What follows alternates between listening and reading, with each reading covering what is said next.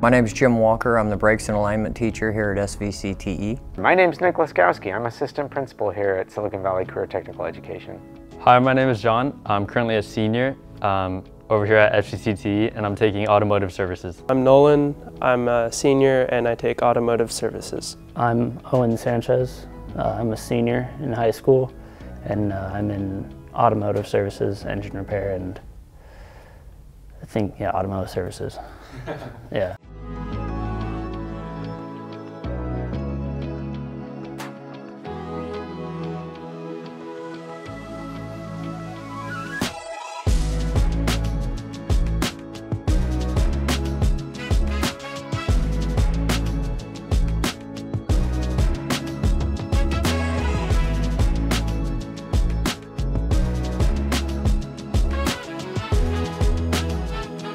Uh, we learned to work on cars. So last semester we were doing a lot of suspension work, completely dismantling a car suspension system, working on brakes, drum brakes, disc brakes. Um, we learned how to like balance out a tire, do alignment, all that stuff. And then this semester we're doing all engine stuff.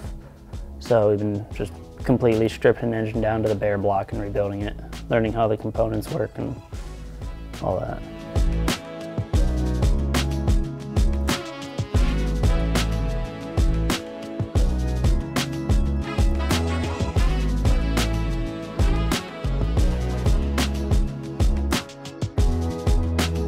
With new cars, electric vehicles coming out, one thing I do tell my students is a car is always going to have to steer and it's always going to have to stop, which means as far as automotive goes, my set of curriculum is never going to go away.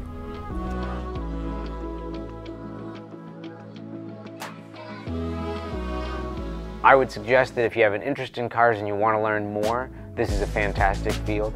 The industry is looking for people who have technical knowledge. The industry is looking for people who can understand the complexities of cars today that are really computer driven and entirely electronic.